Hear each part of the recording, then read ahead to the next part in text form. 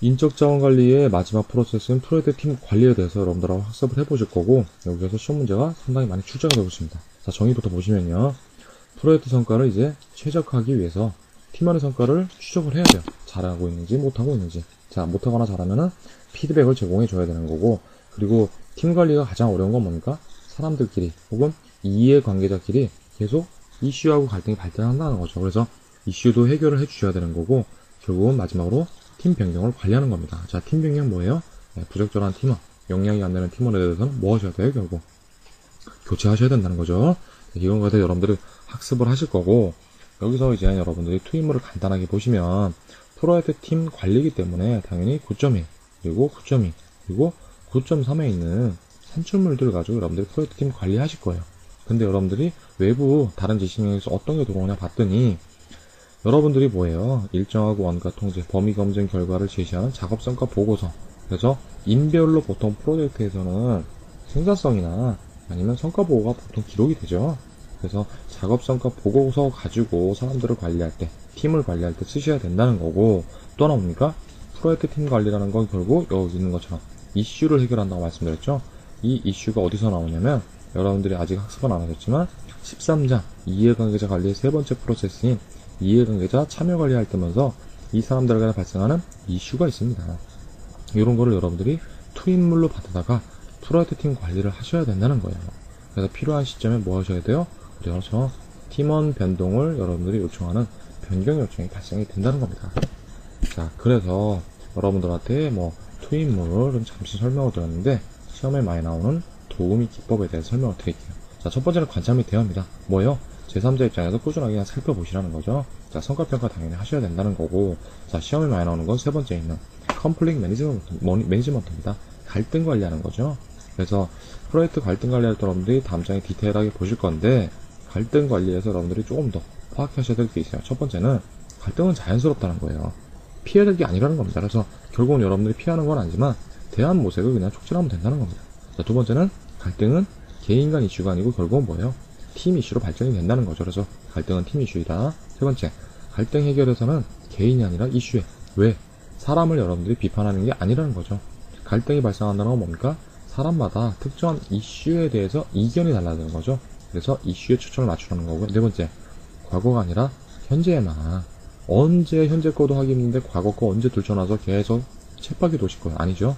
그래서 요 네 가지 갈등 처리 어떻게 보면 원칙이죠. 이것도 기억을 하셔야 되고 더 중요한 거는 갈등 해결에 다섯 가지 기법이 있으세요. 자, 요거에 대해서 다음 장에 말씀을 드리고 보통 한 최소한 세 문제 정도는 항상 시험에 나오고 있습니다. 자, 마지막으로 대인관계 기술에 대해서 네, 시험에도 또 나오고 있는데요. 첫 번째는 리더십입니다. 그래서 뭐 거래적, 변혁적, 카리스마 이렇게 있는데 이것도 한번 설명을 드릴 거고 요거하고 플러스 돼서 뭐가 나온다? 그렇죠? 동기부여 이론이 시험의 출제 비용이 높습니다. 자, 그래서 여러분들한테 갈등 해결에 다섯 가지 기법에 대해서 또 간단하게 설명드려보자면, 요 이제 그림이 나타나는 건 뭐냐면요. 가로축은 뭐예요? 나 또는 우리의 의견을 주자? 뭔가 내가 내 의견을 내가지고 내 의견들에서 제가 이기고 싶다는 거죠. 자, 왼쪽엔 뭐예요? 상대방 또는 상대 그룹과의 협력. 그래, 나보다 프로젝트 성공하기 위해서 양보하는 게 좋겠지. 니네가 더 중요해. 이런 식으로 바라보는 입장에 대해서 사사분면에 표현을 해봤어요. 첫 번째가 이제 강요 지시라는 게 있습니다. 자, 강요 지시는 어디에 포함되냐면 나 또는 우리의 의견을 주장하고 너는 뭐예요? 아, 의견 무시하는 거예요. 그래서 갈등 해결 방법으로서 가장 안 좋다고 얘기를 하고 있고요. 언제 쓰이냐? 나 또는 우리의 의견을 관찰하면 사실적 근거가 있을 때 네, 밀어붙일 수 있다는 겁니다. 또는 뭐예요? 긴급하게 결정할 때 그래가지고 사람들한테 PM이 강연을 지시한다는 거죠. 자, 요번 주에 야근해야 됩니다. 자, 요번 주 토요일 날 출근하세요. 결국 이러한 것이 강요 지시에 해당되는 거고요. 자, 두 번째, 철의 회피라고 있으세요. 네, 철의 회피 여기 있는데 뭡니까? 저도 의견을 주장 안 해요. 어, 걔네한테도 보니까 걔네도 의견을 주장 안 해요. 뭐예요? 결국은 여러분들이 무언가 활동을 하기 위해서 잠재적으로 어, 잠시 갈등 상황에서 물러나기 위해서 여러분들을 활용하시는 겁니다. 그래서 격양된 분위기 시킬 때 또 이슈에 대한 추가적인 정보 수집 필요하실 때 잠깐 법원에서 뭐 하세요? 네, 휴정했다가 시작하시죠.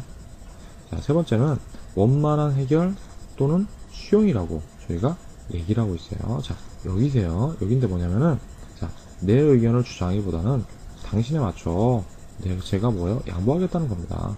그러다 보니까 뭐예요? 이슈가 어, 그렇지 우리보다 어, 너 당신네 그룹에 더 중요해.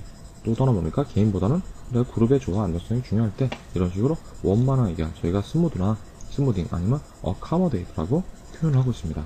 네 번째 이제 협력이나 문제 해결이에요. 어디 있습니까? 저도 의견 주장하고 너도 의견 주장하라는 거죠. 왜? 매우 중요한 통일 대상이 해결해야 되니까. 그리고 뭐예요? 이런 식으로 크게 저희가 한 고비 넘겨야지만 공감대도 형성되고요. 지속적인 관계 유지에 더 좋다는 겁니다. 자, 마지막으로 이제 절충 타협 또는 뭐 타협 화해 이렇게 부르는데 보통 이제 화해죠. 뭐예요? 어느 정도 적정한 선에서 둘 다 만족하라는 겁니다. 그래서 이러한 또 타협이나 화해가 이루어지는 상황은 그룹들이 대등한 권한과 의사결정 권한이 있어요. 자, 한쪽에도 무엇인가 예, 시레벨이 왔고요. 이쪽에도 누군가 시레벨이 왔습니다. 둘이 뭐예요? 권력이 비대응하죠. 이럴 때는 웬만하면 어, 서로 절충이나 타협을 하게 됩니다. 자, 그럼 밑에 있는 윈, 루즈, 뭐, 윈, 윈, 루즈, 윈. 이건 뭐냐면요. 앞에 있는 윈은 나예요. 내 의견을 주장하고 당신 의견은 뭐예요? 예, 안 좋게 얘기하면은 이젠 전 모르겠다. 요런 게 있으세요. 그래서 요거까지 여러분들이 반드시 기억을 하셔야 되고요. 자, 더 하나 아셔야 되는 게 대인관계 기술 중에서 여러분들은 이제 PM의 권력이 있는데 두 가지가 또 있으세요. 역할이 부여하는 거죠. PM이기 때문에.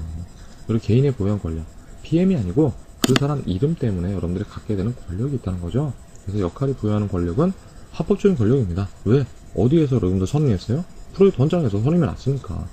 그래서 그 사례를 보면 또 이제 합법적, 뭐 강제적, 보상적 이렇게 돼 있습니다.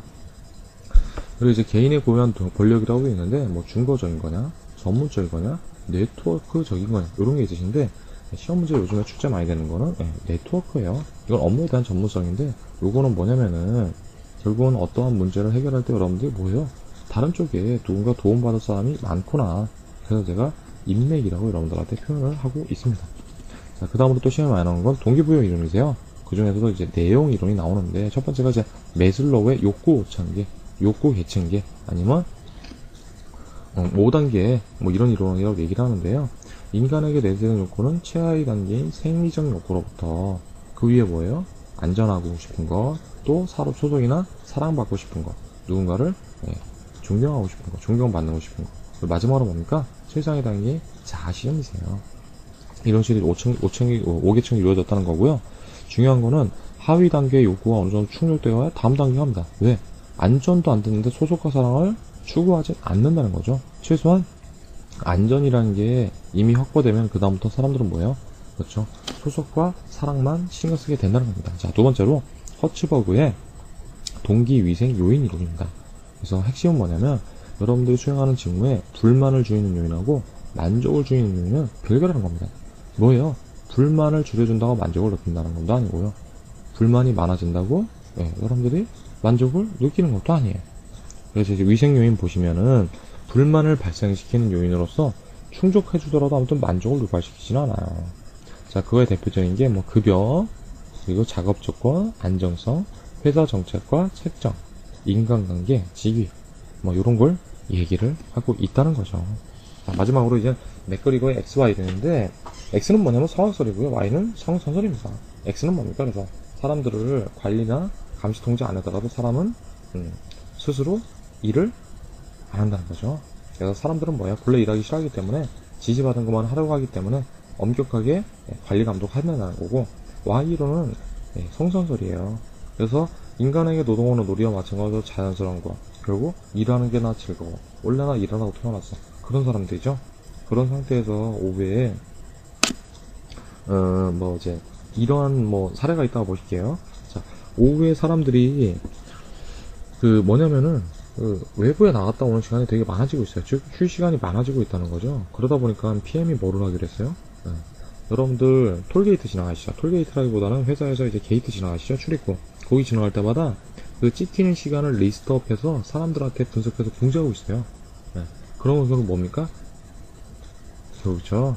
X이론이죠. 사람들은 본래 일하기 싫어하고 지시받는 것만 싫어해요. 지시받는 거 좋아해. 결국 뭐 해야 돼요? 예. 여러분들이 강압적으로 뭔가 통제하는 게 들어가야 된다. 그런 식의 X이론입니다. 자, 대표적인 두 문제 보시면은 프로젝트 팀원들의 출근 시간이 늦어지고 있답니다. PM은 팀원들을 더 이상 믿지 못하겠다며 출근 즉시 출입 통지 기록부에 서명을 하래요. 어떤 겁니까? 그렇죠. 앞에 있는 것 중에 X 이론이죠. 인간은 원래 사악하다는 거죠. 자, 두 번째, 프로젝트에서 팀원이 지속적으로 마찰을 일으키고 있대요. PM으로서 두 팀원 간의 차이를 줄이는 영역보다는 일치하는 면을 강조하고 싶답니다. 자, 이런 게 어디 있었죠? 차이를 보이는 영역보다는 일치. 결국은 양보하라는 거죠. 그래서 답은 스무드나 어카모데이팅. 그래서 앞으로 다시 넘어가 보면은 D번에 있는 원만한 해결이 정답이십니다. 자, 여기까지 인적 자원 관리 계획 그 학습하시느냐 고생 많으셨습니다.